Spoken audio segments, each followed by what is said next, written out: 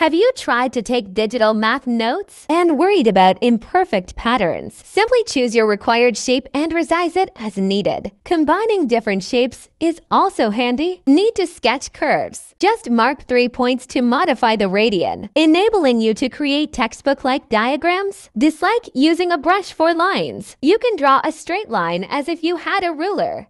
Try to fill the strokes and shapes with different colors. And the lasso tool can help to move and copy an entire shape. Review season is coming. I bet you could benefit from these math note-taking hacks. Are you excited about the tape feature? There are five options for you. Simply drag it to the appropriate size to hide text or formulas, providing a great way to test your recall. You can reveal the hidden content with a simple click. You can use these two eye icons to manage all tapes. Would you like to learn more about these review hacks? Follow me.